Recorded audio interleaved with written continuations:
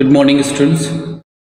In our previous lecture, we had a discussion on acidic nature of carboxylic acid.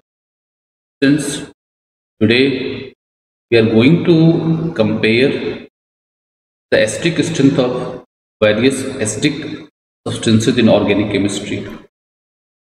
Students, सबसे पहले बात करें आपसे कि हमको क्या करना है कि हमको अल्कोहल और कार्बोक्सिलिक एसिड के एसिड स्ट्रेंथ को कंपेयर करना है और उसके पीछे जो लॉजिक है जो उसके पीछे जो रीज़न है, बेटे उसको जस्ट आपको वहाँ पे आपको उसको इनमरेट करना है। तो सबसे पहले बात करें बेटे कि आप एक बात कॉमन सी समझ लो कि जब दो एसिडिक सब्सटेंसेस की आपको एसिड स्ट्रेंथ को कंपेयर करना होता है तो आप क्या करते हो? दोनों के कॉन्जुगेटेड बेसिस लेते हो।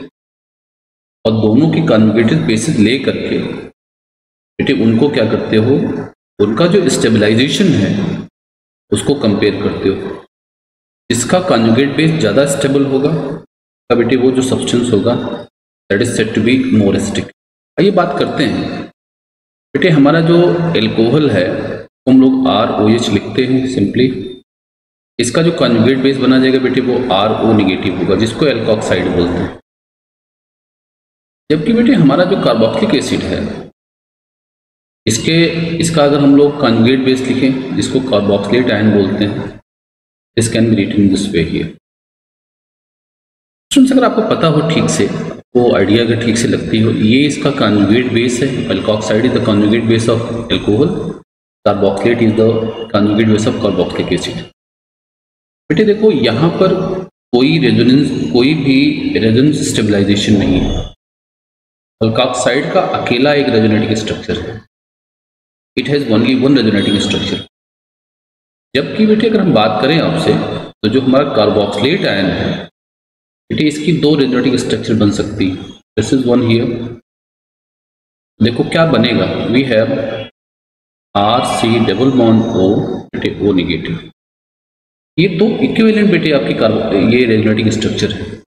इसकी वन हियर बेटे आपका two it has two resonating structure और इस रेजोनेटिंग स्ट्रक्चर में जो नेगेटिव चार्ज है this is present over the बेटे most electronegative element oxygen here तो no doubt that two structures are set to be equivalent इसका मतलब बेटे आपका रेजोनेंस के थ्रू इसका स्टेबलाइजेशन ज़्यादा है। It has more stabilisation comparison to alkoxide ion that is why the basis of this one we can say here so the carboxylic acid acid should be more acidic than alcohol बेटे बात करें आपसे phenol carboxylic acid की।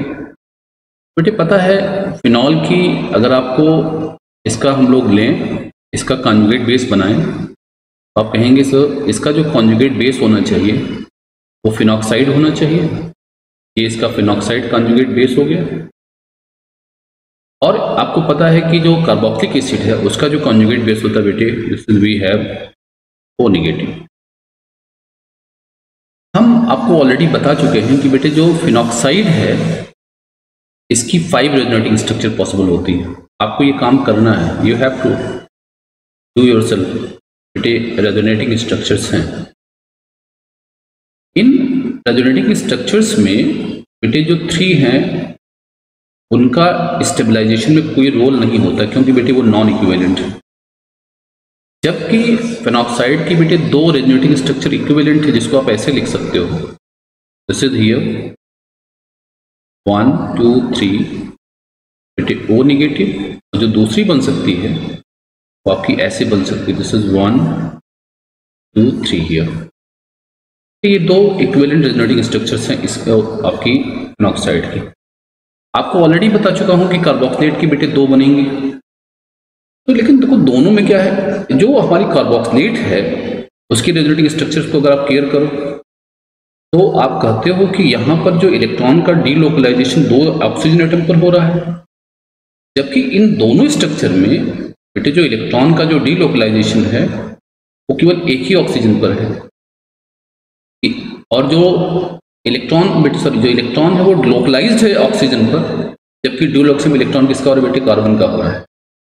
Carbon का delocalisation बेटा उतनी stability नहीं provide कर पाता जितना ऑक्सीजन का डीलोकलाइजेशन तो नो डाउट आप कहोगे कि दैट इज़ वाई आप कहोगे कि carboxylate ion is more stable than phenoxide ion तो as per our rule definitely बेटे carboxylic acid should be stronger acid than phenol here इसके बाद बात करें।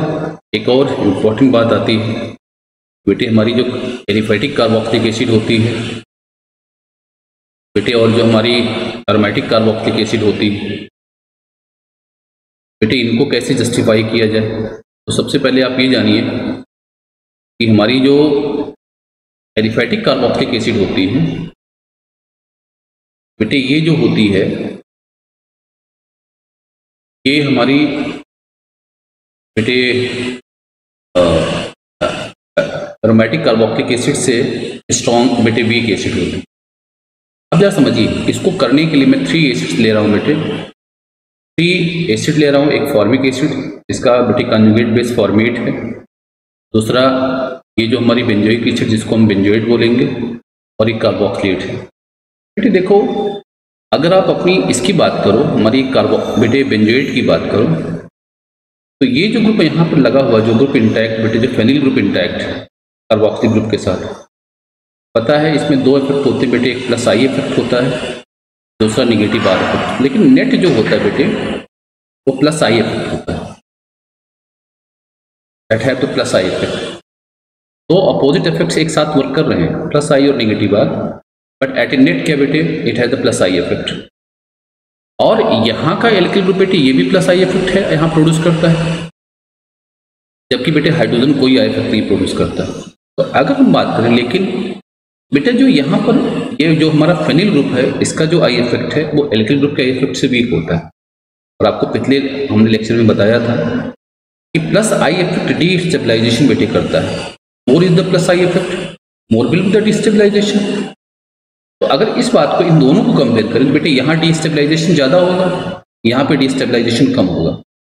और यहाँ पर बिल्कुल डिस्टेबलाइजेशन होगा ही नहीं। बेटे, अगर डिस्टेबलाइजेशन नहीं होगा तो इसका मतलब सबसे स्टेबल कौन सा मिलेगा? ये सबसे मोस्ट स्टेबल होगी। उसके बाद स्टेबिलिटी किसकी? इसकी होगी बेटा, सबसे लीस्ट स्टेबिलिटी किसकी होगी? इसकी होगी। On the basis of this one आप कह सकते हो जो फॉर्मिक एसिड होनी चाहिए, बेटे, ये जो होना चाहिए that should be more stick followed by बेटे बेंजोइक एसिड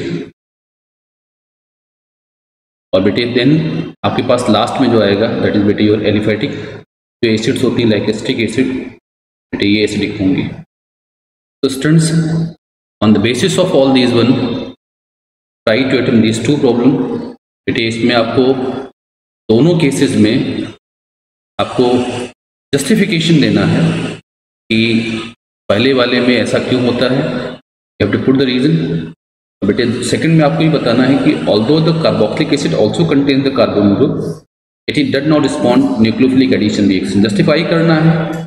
बेटे, इसके करने का एक आसान सा तरीका आपको बता दे रहे हैं कि चूँकि बेटे कार्बोक्सिलिक एसिड में जो ओ OH ग्रुप है स्ट्रॉन्ग रिलीजिंग ग्रुप बेटे ये ग्रुप है तो स्ट्रॉन्ग प्लस आई वाला इफ़ेक्ट प्रोड्यूस करता है। बेटे, इसके ये इलेक्ट्रोफिलिक करेक्टर को डिक्रीज कर देता है। Due to decrease electrophilic character of बेटे carbonic group due to due to the presence of OH group here, बेटे, आपका जो होगा carboxylic acid do not respond the nucleophilic addition reaction. Thank you.